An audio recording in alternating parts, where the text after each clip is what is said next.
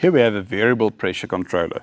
So wherever, whenever you want to use a, a non-variable speed drive pump or a dump pump, and you actually want to get the most out of a pressure tank, or want to be able to control the, the pressure you operate at, you need a controller like this. What this one does is it allows you to set the point at which it turns on as the pressure drops and the point at which it turns off when, it, when the pressure picks up. So that gives you the ability to actually use the capacity in the tank. As, as you use water from the tank, the pressure it um, yields drops off and drops off. So in this case, we've got um, the tank set up that we want the controller at a, a, a switch on point of 1.4 bar. So for that, we say start.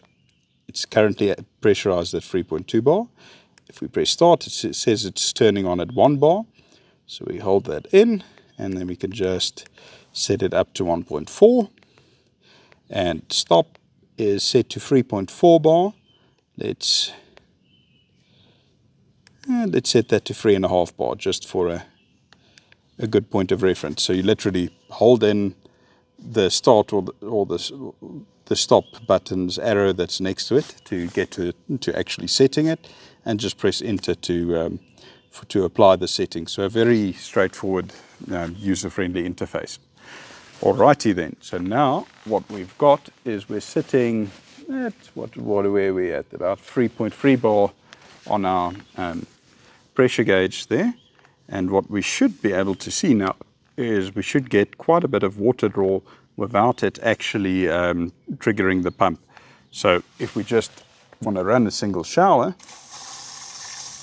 where well, that shower setting's gone off, there we go, that's more like it. Um, they were drawing 600 liters an hour. They were running two showers, drawing about a thousand liters an hour. And here we are drawing three showers and we're running everything off of the pressure tank. And then what happens is at the moment we're drawing no power as we're just drawing out of the pressure already built up in the pressure tank. And this saves you a lot as you're only actually um, using power while the pump is filling. And there we go, there it's switched on again. And then now you see the pressure climbing slowly, but because we're running sort of at the upper edge of what this pump can do. But if we were to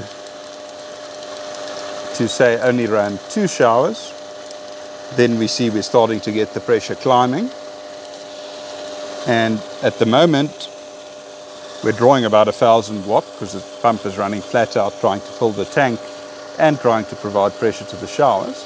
If we then close another shower, then we see the pressure starts to climb a little bit quicker.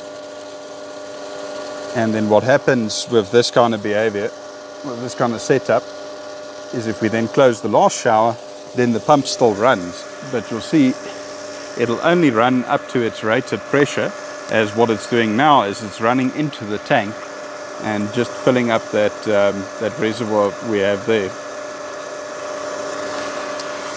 So on our pressure gauge, we're showing about 3.2 bar. On its pressure gauge, we're also showing 3.2 bar.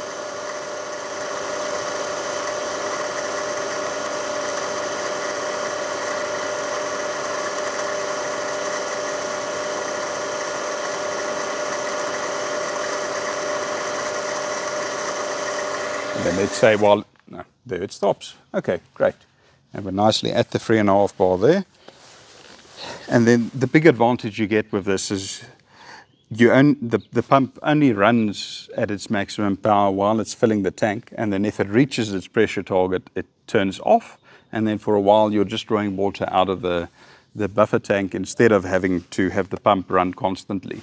It dramatically reduces the amount of times that the pump cycles on, off, on, off, on, off, extending the pump's lifespan.